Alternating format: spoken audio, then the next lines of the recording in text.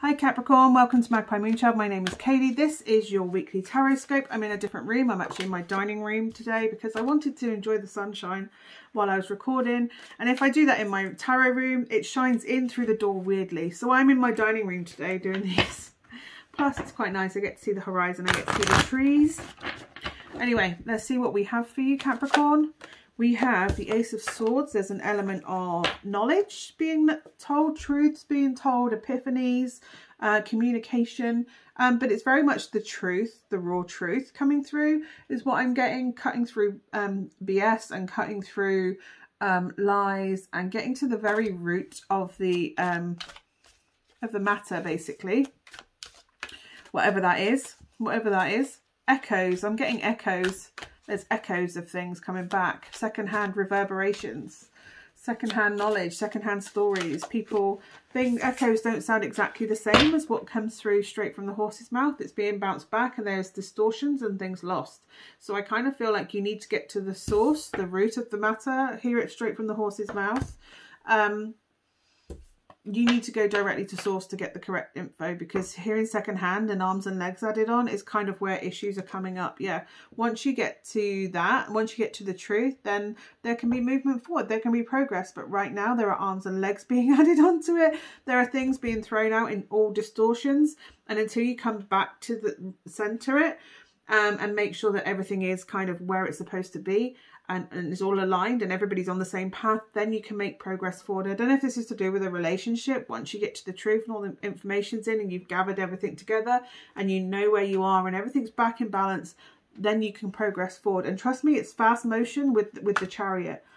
But that element of truth, the chariot is also um, movement, literal movement away. So it may be that an offer comes in this week, which allows you to move or emigrate somewhere um, or an element to do with a house move, that there's some sort of honesty coming from a house move or a relocation, um, possibly news of a holiday. Maybe you'll get news that you can actually finally go on holiday. But um, yeah, something of clarity means that movement forward can happen um, in a situation, whether that is literal physical movement forward or whether that is uh, metaphorical, energetic movement forward. Okay, let's see what we've got for you. What else is coming through? Cool. Time to take the leap. Time to take the... It, it could well be that this opportunity is brought in for you. You have this communication. It comes in for you.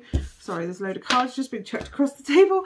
Um, and none of them, there's too many to deal with. So um, it may be that this comes in and basically it's a new opportunity and you can take the leap. Maybe it is a big leap into emigrating to another country or taking a leap into the uh, traveling abroad if that's a thing because the world's starting to open up and that can be quite daunting and scary. But if you feel that it's right for you then by all means go and take that trip. Go and do that journey.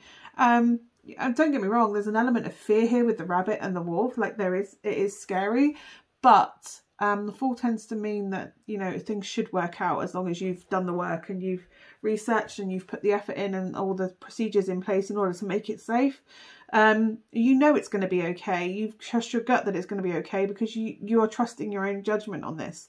Um, only you can make that decision to take that leap, whether that is to move abroad or it is to take a holiday or it is to start a new job or whatever this is that's coming in. It brings an element of, of clarity this week um, and progress and the opportunity for a whole new cycle to start because the fool is like the beginning of a new cycle as well. Um, so you have the world where everything, all the lessons have been learned and we've took all the information and now we're taking everything that we've learned, taking the only the essentials and we're taking the leap forward on a new journey with the fool. There's an element of anxiety attached to it. I'm not in any way diminishing that anxiety. I think you need to be aware that there may be, it may be anxiety inducing. But if you've got the Fool and the Chariot, you've got Major Arcana and an Ace, um, it's a pretty big, it's a pretty big decision to make. It's a pretty big um, thing to start chasing down. It's a big change. It's a big new cycle because it's Major Arcana. It's not just like, oh, I think I'll try a different shop this week. It's oh, I'm changing my job. Oh, I'm changing career. Oh, I'm moving to another country. Oh, I'm taking a big holiday in the middle of a pandemic. Oh, I'm, it, it has big repercussions. That's why there's anxiety attached to it because it's quite, it's a big decision. There's a big element of trusting your own gut. Oh my God, that feels like nerves in your tummy. Tummy nerves. Anyway, let's see what we got. Queen of Wands, confident. Move forward with confidence. And you've also got the Queen of Swords. Trust your instincts. Trust your gut. Um, you're more capable than you realise about uh, dealing with it. Um, you are trusting your instincts. That's okay. And you've made it as part of an informed decision. You know, you've got all the info in. You've got gathered it all. Seeing the bigger picture. You are wise. Wiser than you um, are allowed to believe, I think. But yeah, have confidence in your decision making. Have confidence in your ability to know what is right for you and what isn't right for you. Because it's nobody else's business, to be honest. Um, and it kind of feels like something in summer.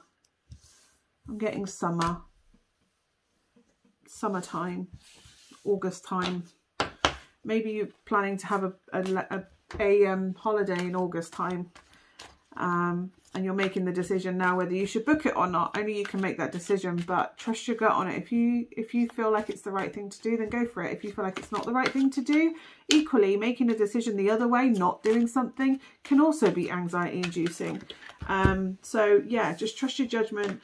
Um, you are more capable. You do not need another person to help you make this decision. I don't know why you keep, I don't know if someone's trying to kind of argue and manipulate you into making a decision a certain way. It's not up to them. It's your life. Um, and communicate that quite clearly to them that it's my life and I will do what I like to do. Whether that's I want to go on holiday, I want to get a vaccine, I want to um, move to another country, I want to start a new career, whatever it is, don't be browbeaten. Do what you feel is right by your judgment and your instincts because the only person you have to answer to is yourself. Um, I hope that is of some use to you. Hopefully, um, I'll see you again next week, but thank you so much for watching. Bye.